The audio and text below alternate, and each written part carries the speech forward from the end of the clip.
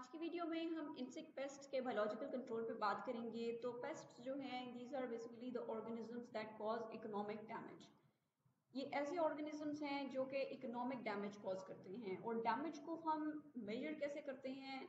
It is basically the monetary loss for example अगर कोई भी क्रॉप है, उसके ऊपर पेस्ट अटैक हो जाता है, या तो उसकी जो यील्ड है वो कम हो जाएगी या क्वालिटी कम हो जाएगी। दोनों सूरतों में क्या होगा?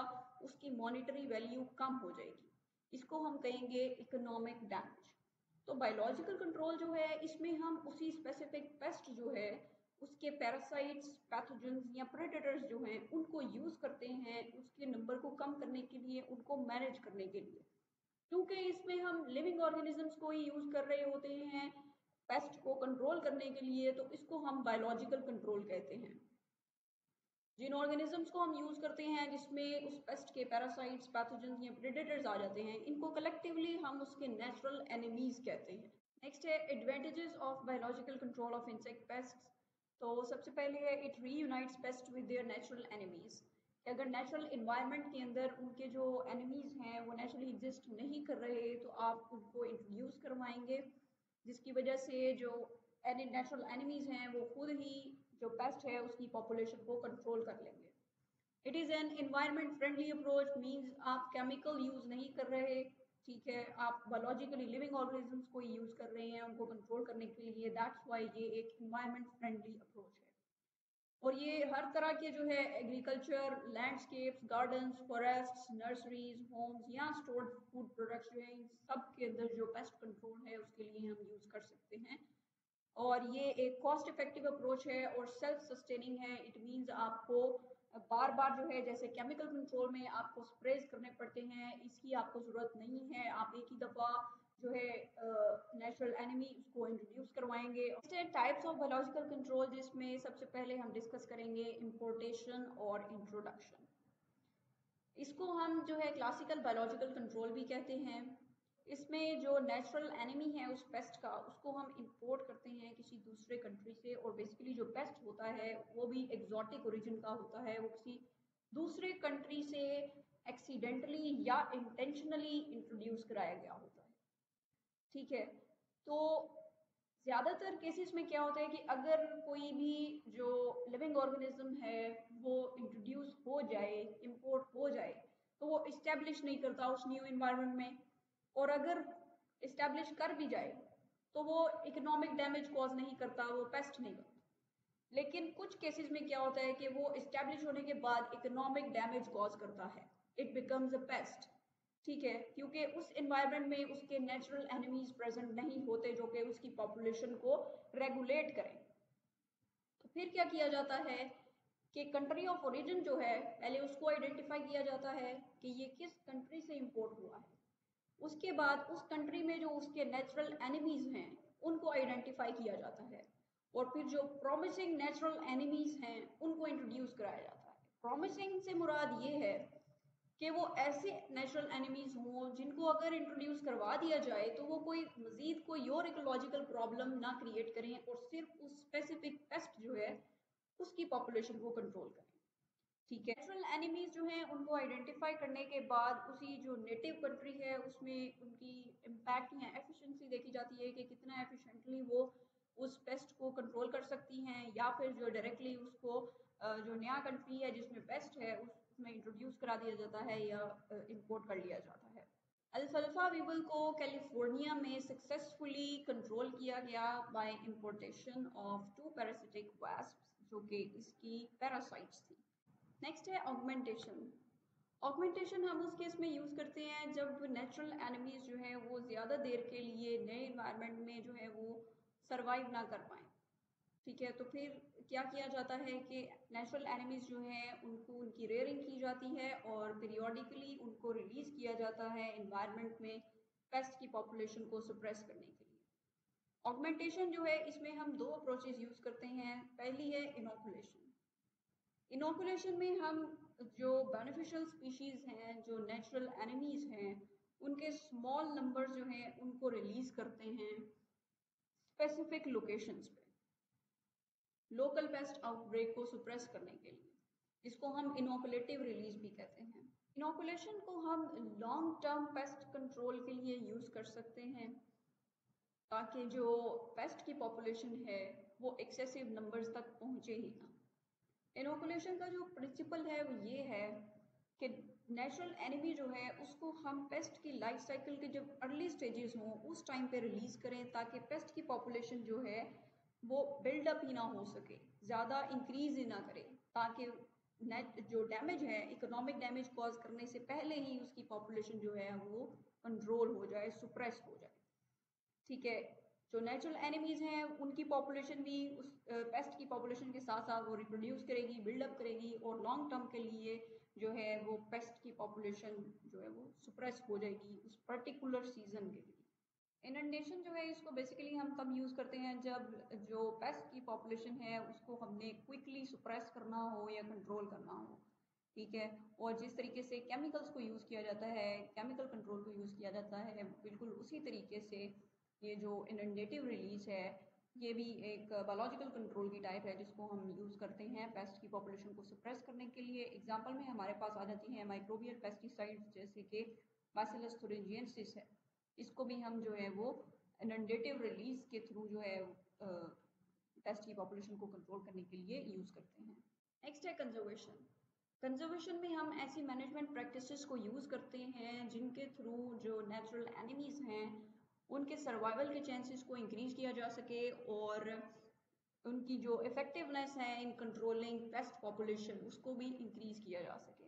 कंजर्वेशन एक्टिविटीज़ जो हैं, इनमें सबसे पहली चीज़ जो है, वो है इंसेक्टिसाइड्स की एप्लीकेशन जो है, उसको मिनिमाइज़ किया जाए या फिर एलिमिनेट किया जाए ताकि जो इंसेक्टिसाइड्स हैं, वो नेचुरल एनिमीज़ को किल ना कर सके, ठीक है?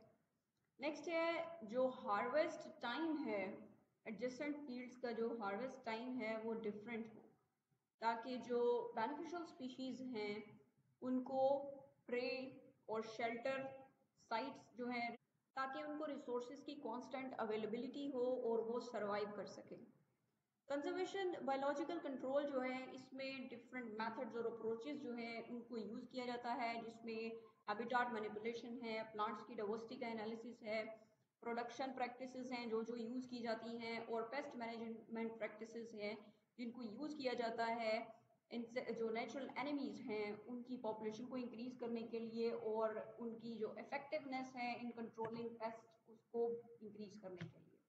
कैरेक्टरिस्टिक्स ऑफ़ बायोलॉजिकल कंट्रोल इसमें सबसे पहले है narrow host range generalized biological control agents are good at controlling insect pests लेकिन क्या है कि ये ज़्यादा जो पेस्ट की पॉपुलेशन है, उसको किल नहीं करते क्योंकि ये दूसरे टाइप्स के जो प्रे हैं, उन पे भी फ़ीड कर लेते हैं। इसलिए जो स्पेशलाइज्ड हैं स्पेसिफिक हैं, अपने पर्टिकुलर जो पेस्ट है या होस्ट है, उस पर फ़ीड करने के लिए तो वो ज़्यादा इफेक्टिवली जो है, वो पेस्ट को कंट्रोल कर सकते हैं। नेक्स्ट है क्लाइमेटिक अडेप्टबिलिटी नेचुरल एनिमीज जो है, ये एक्सट्रीम इन्वायरमेंटल कंडीशन या एक्सट्रीम टेम्परेचर जो है, उन पर भी सर्वाइव कर सकते हैं।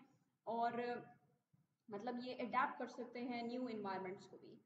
सिंक्रोनी विद होस्ट प्रे और प्रे लाइफ साइकिल ठीक है? ये जो प्रेडेटर और पैरासाइट है, ठीक है? इनका जो लाइफ साइकिल है, वो अपने होस्ट के साथ जो है, वो सिंक्रोनाइज होना चाहिए ताकि जब जो इनका पेस्ट है, ठीक है, वो इमर्ज करे तो उसके जो नेचुरल एनिमीज़ हैं वो भी उस टाइम पे अवेलेबल हों ताकि वो उसको कंट्रोल कर सकें। हाई रिप्रोडक्टिव पोटेंशियल जो एफिशिएंट बायोलॉजिकल कंट्रोल एजेंट्स हैं, वो उनका रिप्रोडक्टिव पोटेंशियल जो है वो हाई है। Means they produce large numbers of offspring ठीक है तो आइडियल कंडीशंस में क्या है? एक पैरासाइट जो है, वो during one generation of its वो जो पेस्ट है पेस्ट की एक जनरेशन के दौरान ये मोर देन वन जनरेशन अपनी जो है वो प्रोड्यूस कर लेता है। Means they have high reproductive potential efficient search ability effective natural enemies जो है, ये अपने होस्ट या प्रे को लोकेट कर इफेक्टिवली लोकेट कर लेते हैं इवन अगर उनकी जो नंबर है, वो बहुत कम है। ठीक है तो बेटर सर्चेबिलिटी जो है, वो लोअर बेस्ट पॉपुलेशन डेंसिटीज जो है, उनमें भी वो इफेक्टिवली जो है, वो अपने प्रे को सर्च कर लेते हैं। नेक्स्ट है शॉर्ट हैंडलिंग टाइम वो नेचुरल एनिमीज जो अपने प्रे को रैपिडली कंज्यूम कर कर लेते हैं, या फिर जो जल्दी जो है क्विकली एग्स ले कर लेते हैं, ठीक है? तो उनके लिए उनको ज़्यादा टाइम अवेलेबल है कि वो अपने नेक्स्ट प्रे को लोकेट करें, ठीक है? तो ये जो एफिशिएंट नेचुरल एनिमीज़ हैं, उनके करेक्टरिस्टिक्स ये है कि they have short handling time तो जो स्मॉल पॉपुलेशन हैं एफिशिएंट नेचुरल एनिमीज़ की वो ज़्यादा बेटर हैं as compared to larger population जो कि लेस एफिशिएंट हों। सर्वाइवल एट लो होस्ट और प्रे डेंसिटी ऐसे नेचुरल एनिमीज़ जो कि इतने ज़्यादा एफिशिएंट हैं कि वो अपने जो प्रे है, उसको उन्होंने बिल्कुल ख़त्म कर दिया है then they starve to death ठीक है, उनकी फ़ूड सप्लाई जब ख़त्म हो जाएगी तो ऑटोमेटिकली दे विल डाई ठीक है तो एफिशिएंट जो बायोलॉजिकल कंट्रोल एजेंट्स हैं, वो अपने पेस्ट की पॉपुलेशन को बिलो इकोनॉमिक थ्रेशोल्ड लेवल रखते हैं. इकोनॉमिक थ्रेशोल्ड लेवल वो लेवल है जहाँ पे जो इकोनॉमिक डैमेज है इकोनॉमिक डैमेज है पेस्ट का, वो स्टार्ट होता है। तो below economic threshold level means के पेस्ट जो हैं, वो मेंटेन रहे, बिल्कुल एलिमिनेट ना हो उन। अब हम बायोलॉजिकल कंट्रोल एजेंट्स जो हैं, इनकी कैटेगरीज को डिस्कस करेंगे तो सबसे पहले हैं प्रेडिटर्स इंसेक्ट्स जो हैं, इनके डिफरेंट काइंड्स ऑफ़ प्रेडिटर्स हैं। फॉर एग्जांपल वर्टिब्रेट्स जो हैं, वो भी इंसेक्ट्स पे फ़ीड करते हैं, जिसमें हमारे पास बर्ड्स हैं एम्फीबियंस हैं रिप्टाइल फ़िश मैमल्स ठीक है ये जो इंसेक्टिवरस वर्टिब्रेट्स हैं, ये डिफरेंट टाइप्स की जो डिफरेंट जो इंसेक्ट स्पीशीज़ हैं, उन पे फ़ीड करते हैं और जो स्पेसिफिक पेस्ट है, उस पर रेयरली इनका फोकस होता है क्योंकि ये जनरलिस्ट हैं। ठीक है जनरलिस्ट से मुराद ये है कि ये वैरायटी ऑफ़ इंसेक्ट स्पीशीज़ पे फ़ीड करते हैं। ठीक है स्पेशलिस्ट जो है वो ऐसे प्रेडिटर्स होते हैं जो कि एक स्पेसिफिक जो स्पीशीज़ है, उस पर फ़ीड करेंगे। ठीक है? तो इंसेक्ट्स और दूसरे जो आर्थ्रोपोड प्रेडेटर्स हैं, उनको हम ज़्यादा कॉमनली बायोलॉजिकल कंट्रोल एजेंट्स के तौर पे यूज़ करते हैं क्योंकि ये प्रे स्पीशीज़ की जो स्मॉलर रेंज है या स्पेसिफिक जो स्पीशीज़ हैं, उन पे फ़ीड करते हैं। ठीक है? और जो आर्थ्रोपोड प्रेडेटर्स हैं, इनका लाइफ साइकिल जो है, ये भी शॉर्टर होता है। ठीक है? और मे फ्लक्चुएट इन इंपॉर्टेंट इंसेक्ट प्रेडेटर्स जो हैं, उनमें हमारे पास लेडी बीटल्स हैं ग्राउंड बीटल्स हैं रोफ बीटल्स हैं फ्लावर बग्स हैं प्रीडेटरी ट्रू बग्स हैं लेसविग्स हैं और होवर फ्लाइज हैं। ठीक है, और जो कॉमनली हम यूज़ करते हैं इंसेक्ट प्रेडेटर्स उनमें हमारे पास ड्रैगन फ्लाइज हैं ऑर्डर ऑर्डोनेटा से बिलोंग करते हैं लेस विंग्स ऑर्डर न्यूरोप्टरा से बिलोंग करते हैं बीटल्स ऑर्डर कोलियोप्टरा से बिलोंग करती हैं फ्लाइज ऑर्डर डिप्ट्रा से ट्यूबग्स ऑर्डर हेमिप्ट्रा से एंड सोरवेस्प जो हैं, ये ऑर्डर हाइमेनोप्ट्रा से थ्रिप्स जो हैं, ये ऑर्डर थाइसोनोप्ट्रा से बिलोंग करते हैं और मेंटिड जो हैं, ये ऑर्डर मेंटोडिया से बिलोंग करते हैं. नेक्स्ट है पैरासाइटोइड्स पैरासाइटोइड जैसे इंसेक्ट्स हैं जिनकी इमेच्योर स्टेजेस जो हैं, वो सिंगल इंसेक्ट पोस्ट जो है, उसके अंदर अंदर या outside of the body develop करती हैं और अल्टीमेटली अपने होस्ट को किल कर देती हैं. ठीक है, इनके एडल्ट जो हैं वो फ्री लिविंग होते हैं या फिर प्रेडिटर्स भी हो सकते हैं और ये हनी ड्यू नेक्टर और पोलन वगैरह पे भी फ़ीड करते हैं। पैरासाइटॉइड्स जो हैं ये एडेप्टेड होते हैं अपने होस्ट के जो लाइफ साइकिल है, उसकी फिजियोलॉजी और डिफेंस मैकेनिज्म्स जो हैं, उनके साथ ये अडेप्टेड होते हैं। इसलिए इनका जो होस्ट रेंज है वो बहुत नैरो है और ये हाईली स्पेशलाइज्ड हैं। ठीक है? तो अगर आपने पैरासाइटोइड्स को यूज़ करना है इंसेक्ट पेस्ट को कंट्रोल करने के लिए तो इसके लिए ज़रूरी है कि आप होस्ट और जो पैरासाइटोइड स्पीशी है, उसको एक्यूरेटली आइडेंटिफाई करें। तो एग्जांपल्स में हमारे पास है फ्लाइज जो कि ऑर्डर डिप्रा से बिलोंग करती हैं। इसमें टेकिनिड्स फ्लाइज जो कि फैमिली टेकिनिडी से बिलोंग करती हैं। टेकिनिडी फैमिली जो है, ये एक लार्ज और बेनिफिशियल फैमिली है ऑर्डर डिप्टरा के अंदर। ठीक है? ये फ्लाइज जो हैं, ये लेपिडोप्टरा हाइमेनोप्टरा कोलियोप्टरा और कभी कभार ओकेजनली जो है वो ऑर्थोप्टरा और हेमिप्टरा के जो निफ्स हैं, उनके ऊपर अटैक करती हैं, ठीक है? और जो मोबिलिटी है बी फ्लाइज और पाइपंकुलिडी बिग हेडेड फ्लाइज ये भी इंसेक्ट पेस्ट जो हैं उनकी पैरासाइट्स हैं। नेक्स्ट है वैस्प जो कि ऑर्डर हाइमेनोप्टरा से बिलोंग करती हैं। इसमें ऑलमोस्ट 45 फैमिलीज़ हैं जिनमें small to medium sized wasps हैं जो कि इंसेक्ट्स को पैरासिटाइज करती हैं। इसमें जो लार्जेस्ट और मोस्ट इंपॉर्टेंट फैमिलीज़ हैं, उनमें हैं ब्रेकोनिडी इक्निमोनिडी ट्राइकोग्रामेटिडी यूलोफिडी इंसर्टिडी एफिलिनिडी और कैल्सिडिडी नेक्स्ट है पैथोजेंस जैसे डिफरेंट एनिमल्स और प्लांट्स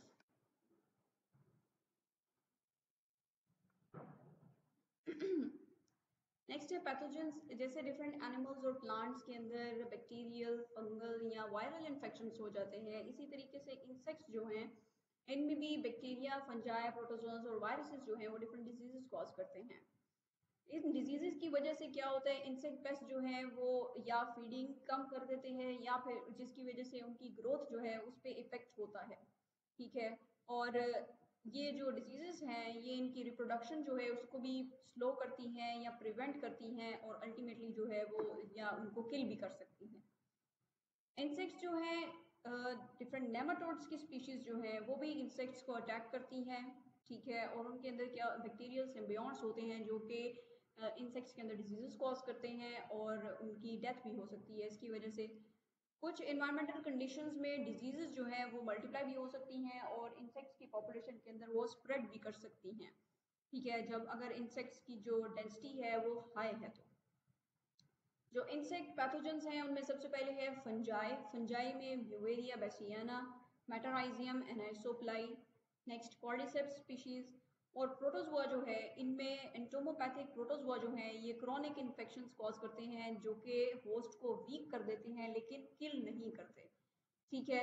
नोटेबल एक्सेप्शन क्या है? नोसीमा लोकस्टी ये एक माइक्रोस्पोरिडियन है, जो कि जिसको मैस प्रोडक्शन की गई है, जिसकी ग्रास हॉपर्स को कंट्रोल करने के लिए under the trade name hoppers bacteria में हमारे पास है बेसिलस थुरेंजियंसिस कर्स्टिकाई जो कि लेपिडोप्टरस लार्वी जो है, उनको इन्फेक्ट करते हैं। बैसिलस थुरेंजियंसिस इसराइलेंसिस जो है, ये मॉस्किटोज और ब्लैक फ्लाइज को इन्फेक्ट करता है। बैसिलस थुरेंजियंसिस सैंटाइको जो है, ये कोलियोप्ट्रन लार्वी बीटल्स के जो लार्वी हैं, उनको इन्फेक्ट करता है। नेक्स्ट वायरसेस जो हैं, इनमें हमारे पास हैं एनपीवी या सीपीवी गेनेडियोलोसिस वायरस और नॉन इंक्लूजन वायरसेस